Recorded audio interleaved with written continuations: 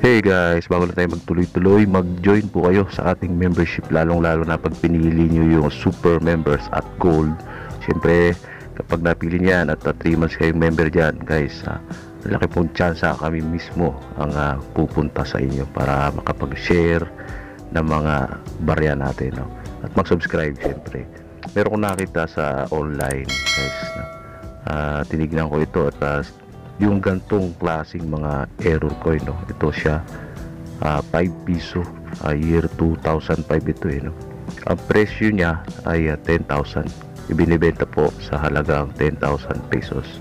Ngayon titignan natin kung bakit ah, 10,000 pesos ang ah, kanyang ah, coin ano? Ito sa unang ah, tingin ko lang dito ay ah, ano siya yung ah, die clash error. Kasi at ah, may mga ano dyan ano, mga double die yung nang yung kung makikita nyo parang may A doon no?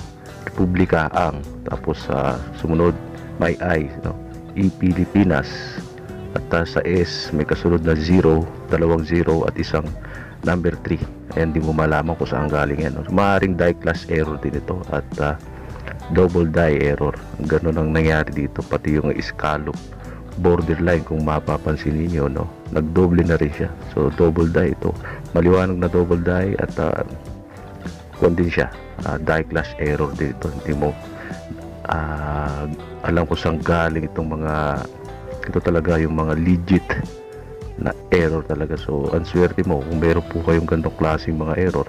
O kung hindi man mabibili to online at uh, uh, dito sa eBay na no? Pwede pwede mo itong i-alok sa mga coin collector dito sa atin eh.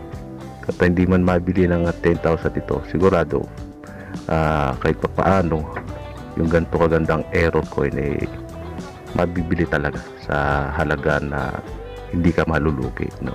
Yan kung makikita nyo yung kanyang uh, error coin so napaka special parang uh, kung titingnan mo nilapastangan tong barya na to pero diyan nagiging special ang mga error coin so sinasabi ko sa inyo kung uh, unique at talagang uh, general error ang inyong coin eh pwede, pwede po yan mabibili. At kung meron din kayong mga gantong error sa tingin nyo pakilisting lang sa ating page.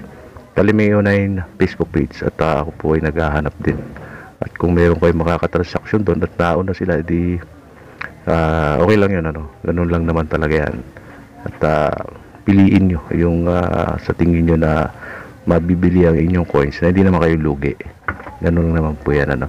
So ay pong ating content guys no. Huwag kalilimutang mag subscribe at i-on notification bell. Hanggang susunod po no. God bless po sa inyong lahat